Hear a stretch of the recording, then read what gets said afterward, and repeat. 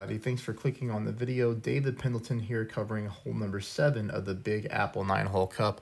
Not a fan of the hole location here that we have to play with, but let's go with the drive. Pretty standard, six top, one bar side spin to the left. We put our yellow ring over here on the rough line. From here, I'm going to use half a ball of curl to the left as well.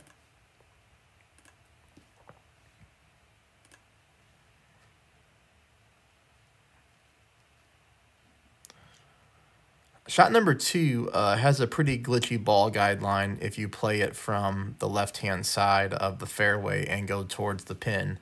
Uh, I wonder if the Guardian would make it um, far enough up to try to play a backspin approach to this hole. I think that would be pretty good.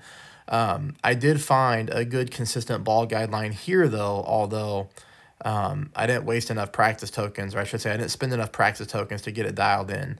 You see here I went with a little bit of backspin, um, you know, about 0.9 side spin to the left. I pull at 0% at max, even though we're not at max distance. Uh, that's just because, again, you know, I was just trying some shots out.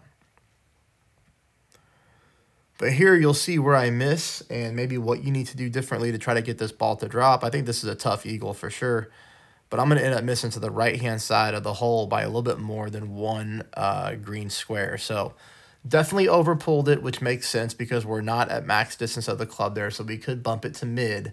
Um, but we might even overpull it at mid, so it might be something where you want to play that one negative elevation, maybe minus 10% to give it a try. Uh, but hopefully you're having a good qualifying round. You know, hopefully you've dropped a few of these shots that I've posted out there and you don't really need to spend much time on hole number seven. Just make sure you make it to the final round. All right, everybody, that is it. Please subscribe. Please hit the thumbs up. I'll see you soon for hole eight. Thanks, everybody.